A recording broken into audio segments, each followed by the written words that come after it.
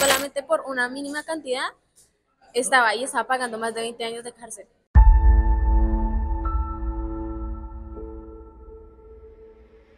Yo no quiero vivir eso.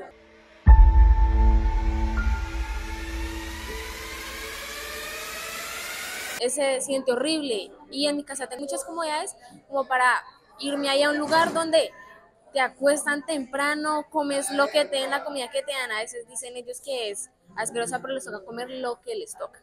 Si no, se mueren de hambre. ¡Bienvenidos a la cárcel! No queremos estar en los zapatos de ellos. A veces es una vida muy duro. Y lo otro, pues yo veo a mi mamá todos los días, ellos lo ven cada 15 días.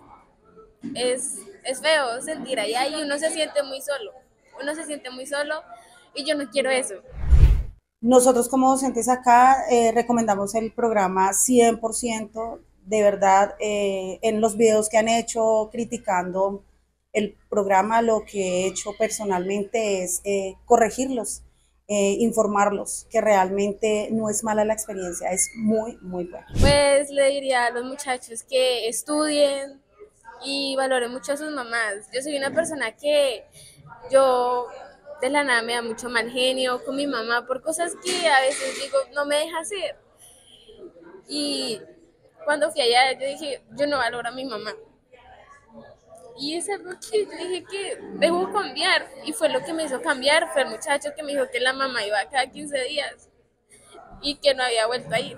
Y yo no quiero eso. Me da rabia y hago cosas que no, y no quiero estar allá. La verdad, prefiero todos los días ver a mi mamá, que me regañe, que me diga, haga esto, haga lo otro, a no verla. Ese aplauso es para ustedes y saben para quiénes?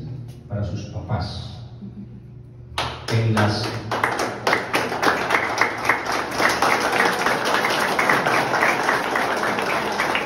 Para ser parte del programa, los padres de familia tienen que asistir a una reunión con don Héctor, que les va a hacer una socialización sobre el proyecto inicialmente.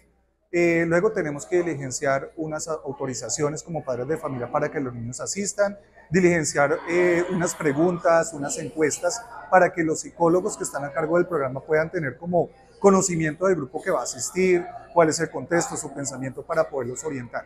Allá van a ver eh, personal del INPEC, cuidadores, dragoneantes, psicólogos del ICBF, profesores del colegio, coordinador, que los van a estar acompañando. No es que ellos salgan ahí al patio a correr nada, sino los van a estar cuidando. Entonces, tranquilos, el trámite se puede hacer, es muy sencillo y deben hacerlo para el bien de sus colegios y de sus hijos. Pues el programa es tan efectivo que nosotros ya tenemos todos los cupos del resto de este año 2024 llenos entre los colegios invitados por la administración municipal y los colegios invitados por el IMPEC que quieren participar del programa porque han visto la efectividad. Y ustedes han sido testigos en el nuevo día que nos acompañaron aquí a la socialización de una institución educativa de eh, la Comuna 12, los barrios del sur, han sido testigos de lo que han expresado los estudiantes. Estos testimonios son muy valiosos.